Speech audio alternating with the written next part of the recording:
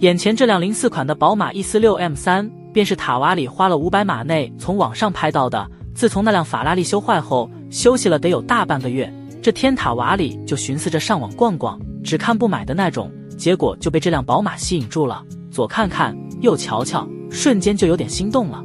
不过呢，人家介绍说这可是一辆泡水车，而且当时在水里泡的还挺严重。通过照片，咱们可以看到，除了车顶没有被淹外，几乎是整辆车子都被淹了。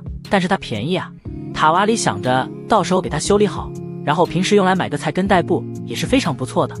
而且这车子匹配的还是个六速手动变速箱，塔瓦里能不动心吗？于是，本着碰碰运气的心态，最终用自己维修上辆车子剩下来的预算将其拍了下来。还别说，它这引擎盖设计真心好看。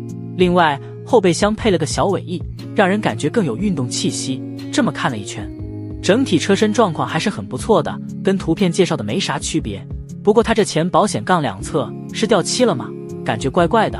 轮毂盖不知道怎么被弄丢了。塔瓦里猜测，可能是在水里泡没了。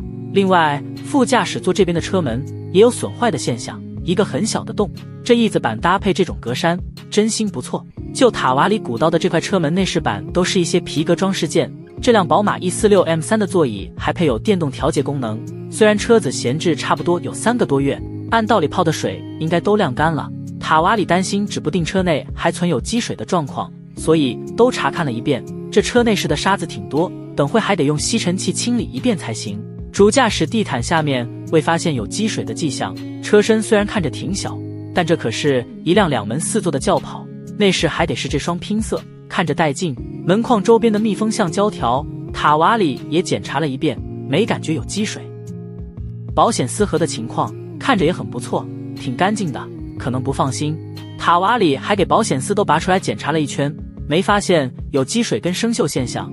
接下来咱们来看看。发动机舱的一些状况，他这还在发动机上加装了一根固定架，该不会是怕发动机抖出来吧？机油的状况倒是不错，不过好像是没多少机油了。简单检查完车况，塔瓦里紧接着将这辆宝马 E 四六 M 三开出去跑了几圈，测试看看会不会出现什么故障，比如车子自动熄火跟无法正常挂挡，还有故障码啥的。结果可想而知，开了不到十公里，车子就出问题了。测试过程，塔瓦里停车上商店买了点东西，重新启动这辆宝马 M 三，却一点反应都没有。最后实在没招，叫拖车拉了回来。初步判断可能是交流发动机出现了问题。下面塔瓦里准备拆解发动机舱，进一步查看故障的来源。但愿车子不要有大的机械故障。